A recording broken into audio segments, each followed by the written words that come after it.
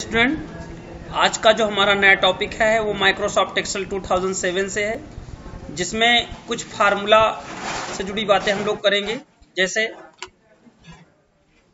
आप लोग देख रहे होंगे फार्मूला टाइप के अंदर आपको कुछ टेक्स्ट फार्मूले दिख रहे होंगे, जिसमें से आज हम आपको बताएँगे फाइंड फार्मूला क्या होता है लेफ़्ट फार्मूला क्या होता है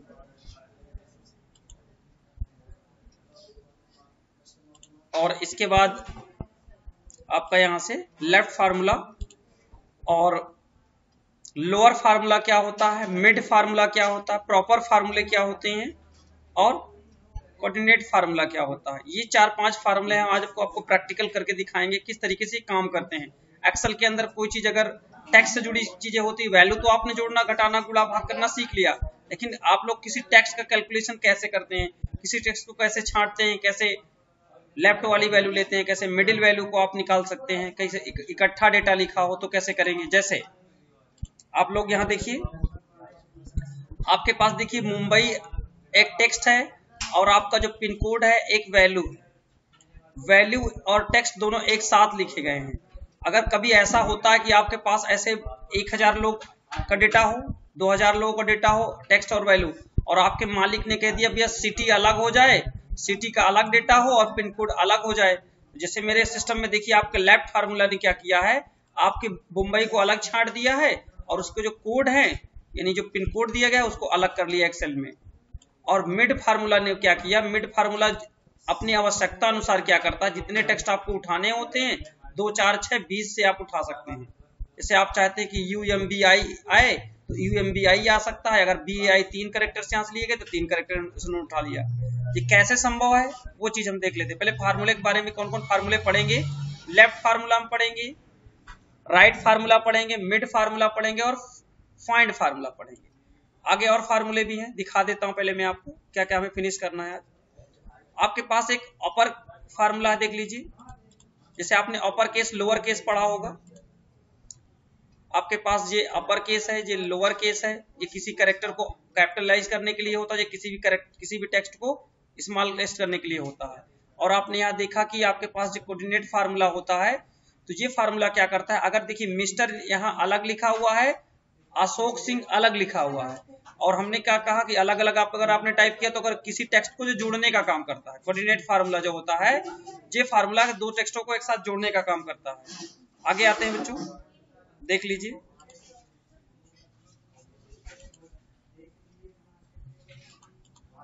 और आपके पास एक प्रॉपर फार्मूला होता है। ये फार्मूला क्या करता है? जब कभी भी कोई करेक्टर एक वर्ड देखिए, पहला आप देख रहे होंगे कि आपके पास यहाँ देखिए, ये वाला अशोक लिखा है जो, अशोक। अशोक देखिए, सही लिखा है। जबकि सिंह पूरा कैपिटल है, अशोक का पहला करेक्टर एक एक कैपिटल है और सारे स्मॉल हैं। जबकि सिंह के देखिए, सारे वर्ड कैपिटल्स हैं। जी क्या करेगा? सब एक समान करना चाहिए इसको। एक, जैसे एक करेक्ट एक वर्ड होता है, एक वर्ड में पहला वर्ड बड़ा हो करेक्टर बड़ा हो और सारे छोटे हो। इस तरीके से सिंह में पहला करेक्टर जैसे यस बड़ा और सारे छोटे होने चाहिए, तब जब परफेक्टली नेम माना जाएगा। नहीं जी, गलत होता। है तो वो सही करने के लिए प्रॉपर फार्मूला यूज़ किया जाता है वहाँ पे। तो चलिए एक एक करके फिनिश करते हैं। हम लोग इस डेटा को हटा देते हैं यहाँ पे।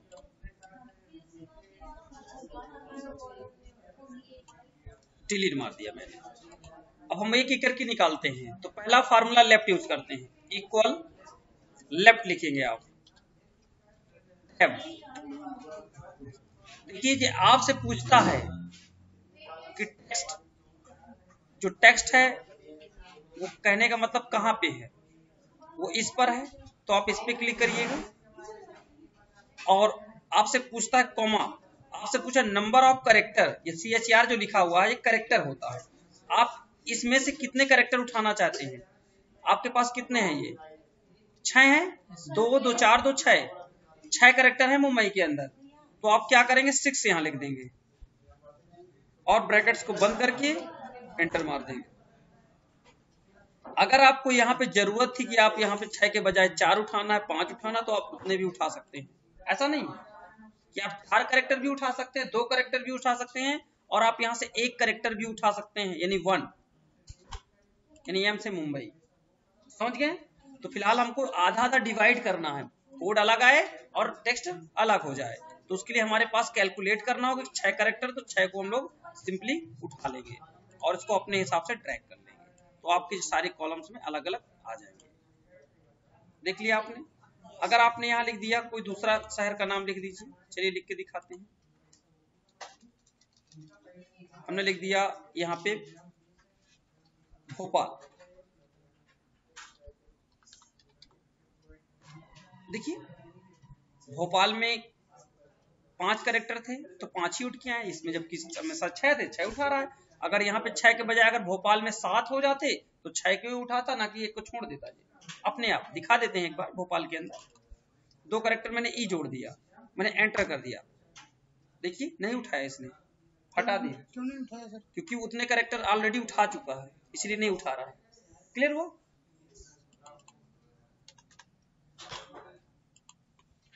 आगे, अगला फार्मूला क्या आपका कहता है? राइट अब जी राइट से किसी भी टेक्स्ट को उठाने का काम करता है। कैसे? राइट आप राइट लिखिए टैब दबाइएगा। आप किस टेक्स्ट से उठा रहे हैं? इस टेक्स्ट से उठा रहे हैं। कॉमा आप देखिए, आपके पास नंबर ऑफ़ करेक्टर जी कितने नंबर हैं? छह जे भी हैं तो बस सिक्स कर दीजिए। ब्रैकेट्स बंद करके एंटर मार दीजिए। समझ में आया? ये राइट से छह को उठाएगा। आप सात कर दीजिए। साथ में ये भी आ गया, माइनस। देखा आपने? जबकि हमें माइनस की ज़रूरत नहीं है तो भाई हम छह ही ना लेकर चले उसकी क्या हो सकता है? बस यहाँ से एंटर करिए और यहाँ से ड्रैग कर लाइए। ये कभी कभी डेटा एंट्री का जब काम करता है डेटा ऑपरेटर, तब इसकी ज़रूरत बहुत पड़ती है। ये फार्मूले बहुत काम करते हैं, उसी समय। एंट्री वगैरह जब करते हैं, कहीं भी काम करेंगे आप तो ज़रूरत पड़ेगी ज़रूर। मिड मिड का मतलब मिडिल होता मतलब बीच का। एम आई डी टाइप करिए और टैब दबाइए। आपसे पूछता है टेक्स्ट किसमें से उठाना है? इसमें से उठाना है। कॉमा आपको स्टार्टिंग नंबर स्टार्टिंग से कितने नंबर से उठाना है? दो या तीन नंबर से। हम कहते हैं एक के बाद जो नंबर आए उससे उठा ले हम लोग। एक एक के बाद एक, एक में क्या है? एम है? एम के बाद उठा लीजिए। एम के बाद कितने कैरेक्टर उठा ले हम लोग? पाँच उठा लेते हैं।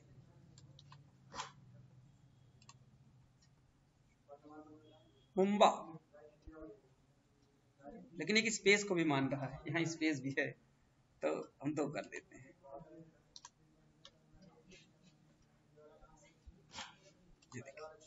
समझ गए? दो करना ही पड़ेगा, क्योंकि तभी लेगा क्योंकि एक स्पेस होता है वहाँ पास। तो ये एक करेक्टर जी स्पेस को समझ लेता है। जितने स्पेसेस में वो उतना करेक्टर माना जाता है, ठीक है ना? अब आप इसको पकड़ के ड्रैग कर लेंगे, बेहतरीन हो जाएगा। देखिए, सारा कुछ निकल के आ गया। देखिए इसमें होपाल लिखा हुआ है क्योंकि एच बी तो बी तो कट गया एच है एक करेक्टर तो हमने हटा ही दिया। क्लियर हो गया?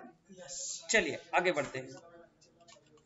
इससे धीरे धीरे करके हम लोग फार्मूले भी फिनिश कर ले रहे हैं क्योंकि सारे फार्मूले भी आपको आने चाहिए। आज आज हम लोग कुछ टेक्स्ट के फार्मूले पढ़े ले रहे हैं फिर आपको डेट एंड टाइम के फार्मूले पढ़ाएँगे फिर लुकअप के फार्मूले पढ़ाएँगे फिर मैट्रिक के कुछ फार्मूले ऑलरेडी पढ़ा चुके कुछ पढ़ाएँगे। ठीक है कुछ लॉजिकल के फार्मूले पढ़े हुए हैं जबकि हम लोग पढ़ाएँगे आपको। लॉजिकल के फार्मूले जी यहाँ पड़े हुए हैं। ये देखिए। J O R if and ये सारे फार्मूले यहाँ पे देखिए हैं। जबकि आपको इनको सब पढ़ने होंगे। फ़िलहाल हम लोग अभी इस पे काम कर रहे हैं। फाइंड फाइंड का कार्य क्या होता है? ढूंढना। फाइंड फार्मूला क्या करता है? ढूँढने का काम करता है।